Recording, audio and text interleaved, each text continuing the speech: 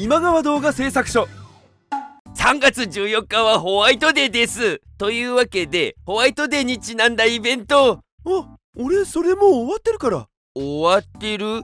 去年もだけどなんだかんだで今年もギリチョコいろいろもらったじゃん？それ全部もうヒロに手配してもらってお返し済みだから。そういうわけでホワイトデー終了。動画のネタ一本なくなったちなみに何やる気だったの？彼女を喜ばせよう。素敵なホワイトデー。みたいなやつ。ここにいる全員彼女いないのに？やめてください。心折れます。家事は下心隠せばいけるだろ普通に。小塚さんはあのキャバ嬢と付き合ってんじゃないすか？違うけど。うーんでも風花が俺でいいならそれもありかな。今一緒にいてすげえ楽しいし。俺でいいならなんかかっこいいっすね。言ってみたいよね。あんなセリフ。小塚は風花さんからチョコもらったんでしょ？何返したの？ステンレスマグっす。マグ？使ってたのが取って壊れたっつってたんで良さげなやつ買って中にお菓子詰めて送りました。おしゃれ！それに保温系のマグって地味に高いっすからね。もらえば嬉しいんじゃないすか？わかるわ。水筒も1本2 3 0 0円からだもんな家事水筒買ったの？買いましたけど俺にじゃなくて兄弟のす。学校に毎日持ってくんで。正月に帰省した時バレンタインの練習だっつって上の妹がクッキー作ってくれたんでそのお礼にって感じでホワイトデーに買って送ったんすよ。そいつにだけ返すのもあれなんで全員分長く使えそうなの、仲良し家族だね。そういや野口さんもセリカさんからまたパウンドケーキもらってたよね。何をお返ししたんだろ聞いてみます？図書券返しといた。図書券？あいつはそれが一番喜ぶんだよ。本に金突っ込むタイプだからな。あと大人の科学みたいなちょっと変わった付録付き雑誌も好きだぞ。あんな本の何が面白いんだか。実録オカルトン好きの若頭がそれ言います？小塚ホワイトデーに何返すかって結構個性出てて面白いな。そうっすね。せっかくだからそれ調べてみます。牧野金融事務所兼自宅。もらってねえし返さねえ。客からは断る。ああそうなん？林田ちゃんは林田はバレンタインを違うイベントとして楽しんでる。美味しいチョコレートがいっぱい出るんですよ。1ヶ月は幸せでいられます。自分用に買ってるんだねでも社長にもお裾分けしてるじゃないですか。お茶の時間に出してますよ。だからお返しで俺も菓子買ってきてんだろ。この間の限定マカロン超美味しかったです。あれはあれでバレンタインとホワイトデー成立してるよね。そうっすね完全に。あの二人なんでくっついてないの？もうくっついてる認定してもいい気はするんすけどね。大番組本家アニーへのホワイトデー？いや言うの恥ずかしいな。大番代表ならすげえのあげたんじゃないですか。千万の指輪とか。いや多分違うと思うよ。それだよそれ。そこに飾ってある似顔絵だよ。え？これ豊かが部屋住みから手作りのキーホルダーもらったって聞いてよ。いいなーって思ってなでもほら手先が不器用だしなんかできねえかって思って精一杯書いてみたんだけどよ。すごい上手ですよ。おおそうか。こんなのもらったら嬉しいに決まってますよ。アニーさんすっごく喜んだんじゃないですか？そうなんだよこんな綺麗な額縁に入れてくれてな。写真撮ってスマホの待ち受けにもしてくれて。その気持ちわかります。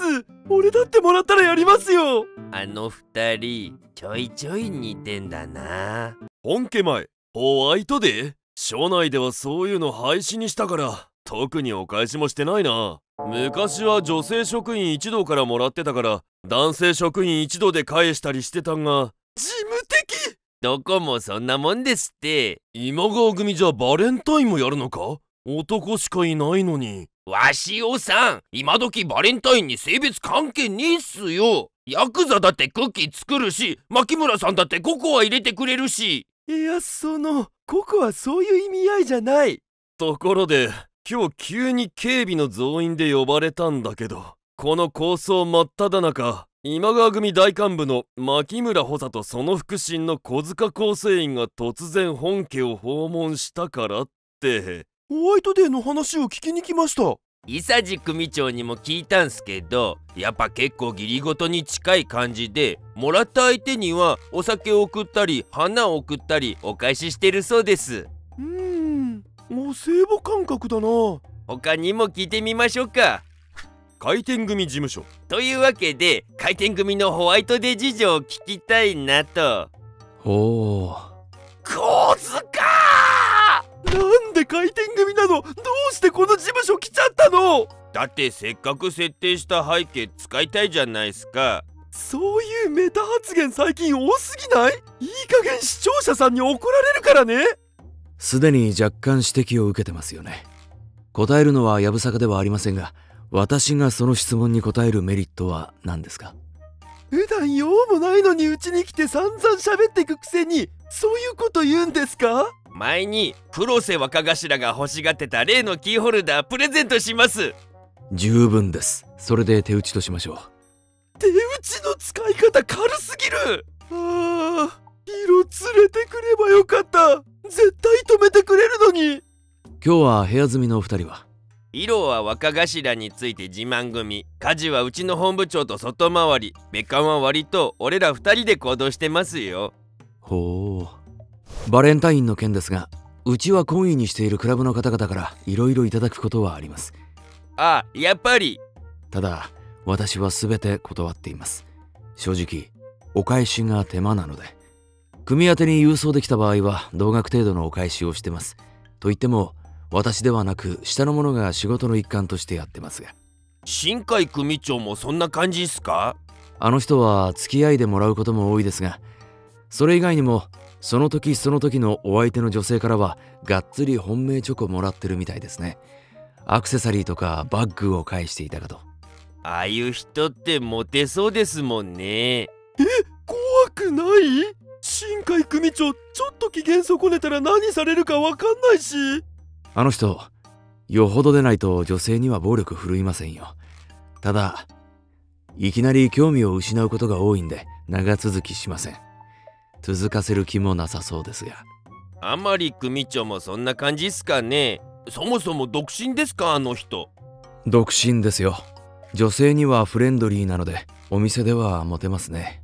ですがさすがにホワイトデーをどうしてるとか個人的な事情は知りませんんくさい人の話はどうでもいいです。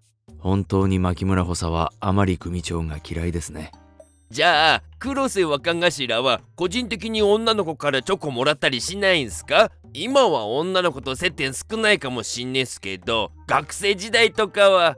学生時代の話までするのならさらに追加で何かいただきたいですね。グッズっすか？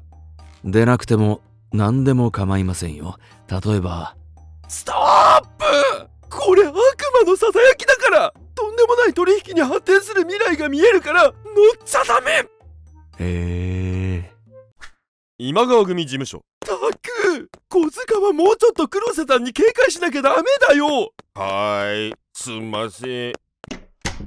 牧村さん!回転組の事務所に行ったって本当ですか?小塚さんと二人っきりでってなんで生ね？どうしてそういう自滅行為するんですか？前行った時どんな目にあったか忘れたんですか？自分を大事にしてくれって言いましたよね。あれ忘れちまったんすか？ち、違う。俺も小塚に強引にっていない。小塚